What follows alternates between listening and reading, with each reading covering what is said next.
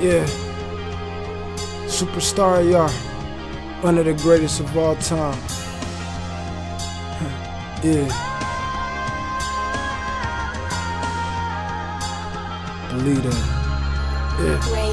Let's 29 hours been working on these albums. Would've did with them, but had to go in without them. Yeah. Most of these little bitches, they always acting so childish. Most. Everybody know me, my niggas come out the wildest. Wow. Minnesota, been a soldier, it's beneficial. If you bring a pistol, bring an issue just like a magazine. AR, your majesty, and I'm defying gravity. Almost magically, yeah, thank you for having me. Thanks. Boy, I'm the realest in it, In it. period. These niggas can't be serious, I'm just clearing them. Smoking on loud, goddamn it, I'm barely hearing them. And I'm at the top, my nigga, I feel like Eminem. Yeah. But it's area, no comparison, clearer than Yeah. Claritin, and I'm arrogant. Damn it, I swear I'm in it. Whoa. These niggas probably got a second past a minute. Second. Damn, I'ma have to go and take they snake venom out of they tail.